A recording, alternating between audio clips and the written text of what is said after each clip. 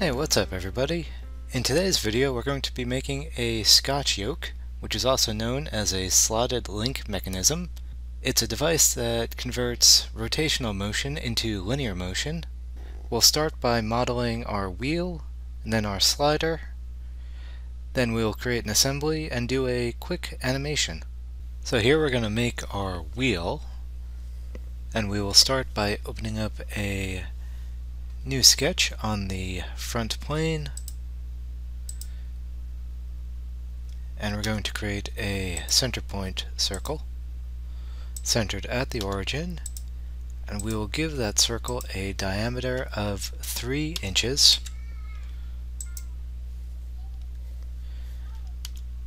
And close out our sketch.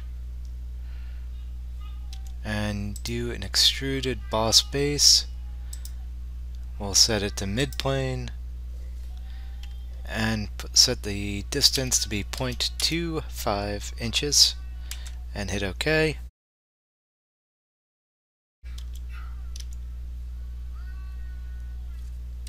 Up.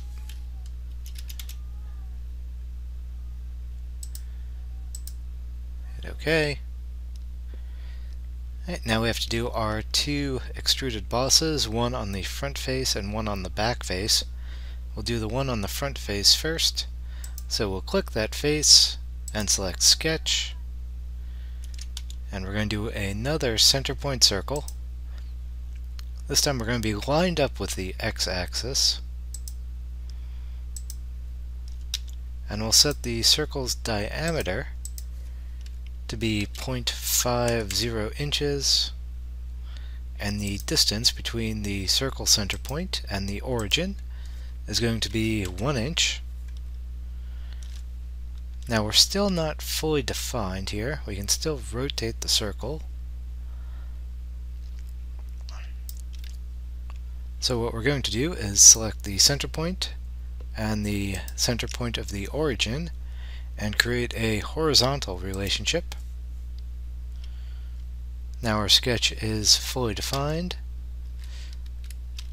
So we'll exit our sketch, create a new extruded boss base, set it to blind, and set the distance to be 0.75 inches. 0.75 inches.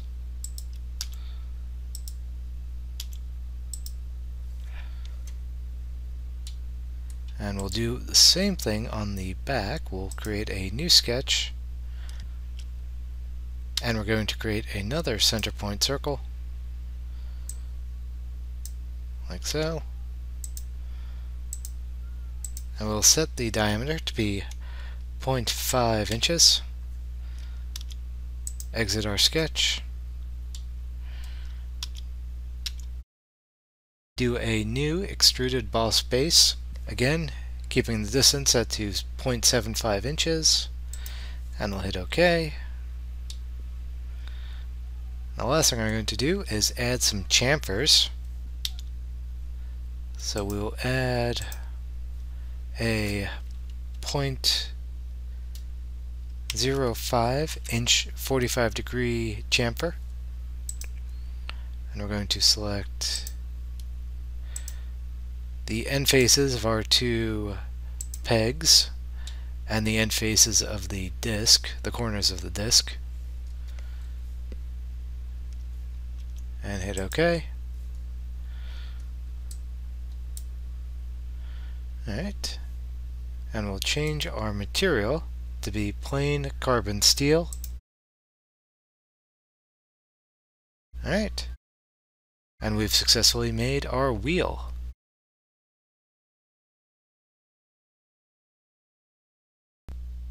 Now that we've made our wheel, let's make our slider. We'll start by opening up a new sketch on the front plane. And we're going to create a center point cylinder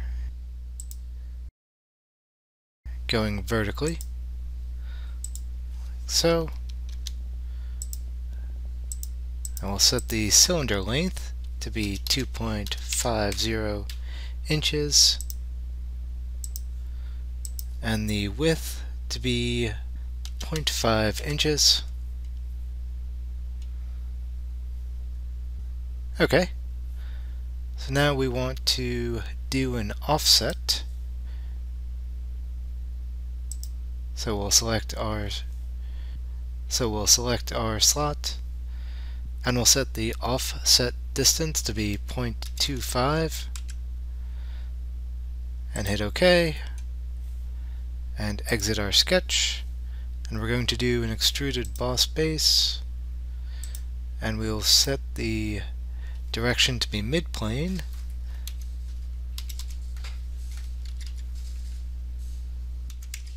and we'll set the distance to be 0.5 and we'll hit OK. Alright, now we just have to make our two arms. This is really easy. So we're going to select our side face and go to Sketch and do a center point rectangle. And just connect with the face of the model. And we're just going to set the horizontal and vertical lines to be equal. So now we have a 0.5 by 0.5 rectangle and we'll exit our sketch and do an extrude boss base we're going to change our direction to be blind from midplane and we're going to set the length to be 5 inches and hit OK. And we need to mirror the arm onto the other side. So what we're going to do is hit the mirror command and for the mirror face or plane we're going to expand our feature tree and select the right plane, hit OK Alright, and the last thing we're going to do is add some fillets in these little corners here. So we'll select this first corner. And we have a bunch of options here for different features that SOLIDWORKS is going to guess that we want to use.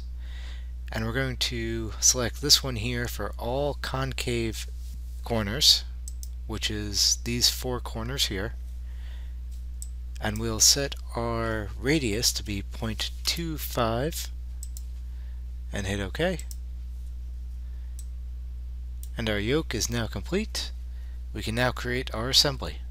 So we'll start by opening up a new assembly file and we're going to insert our wheel first. And we'll open. And place our wheel in. And by default the wheel fixes in place. So we want to set that to float. So now we can move it all around but we need to lock it into a position so we can spin it. So what we're going to do is select mate select this center cylinder in the back and select the origin and we're going to create a concentric mate and hit OK. And then we're going to select the back face and the front plane and create a coincident mate and hit OK. So now we can spin the wheel, but it stays in one general position within the assembly.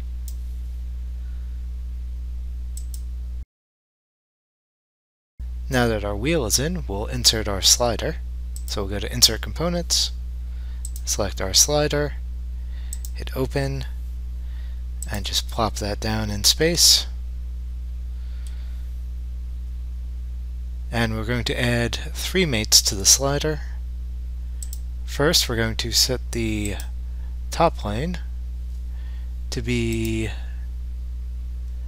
uh, coincident to the top plane of the assembly.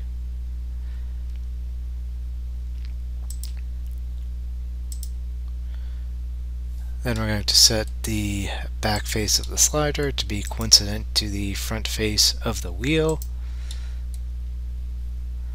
And the last thing we need to do is create a slot mate between the uh, pin here and the uh, slot. So we'll go to our Mechanical Mates tab, select Slot,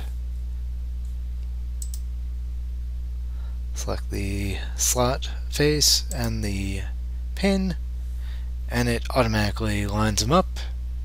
We want to make sure the constraint is set to free, and we do not want to lock rotation. And we'll hit OK.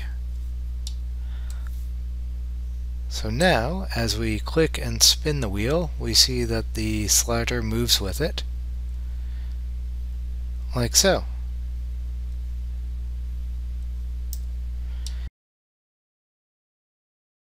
And we can even create a little animation here. So we'll go to Motion Study, select Animation, and we're going to add a motor, and we'll select this back axis here. Oh, hold on, I'm still in mates, so we'll exit out of that. Select motor. And select this back axis. And hit OK.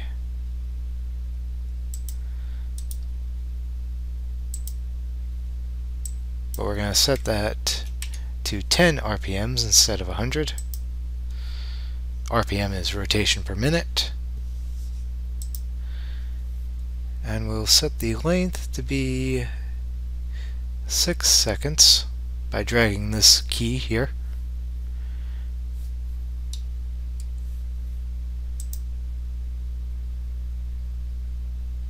And it should make a full rotation. Now it's defaulting to this orientation, which we don't want. We want a nice ISO zoom in a little bit.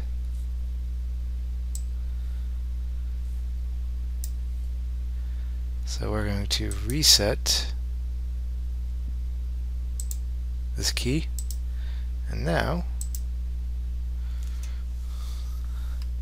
we have our nice animation.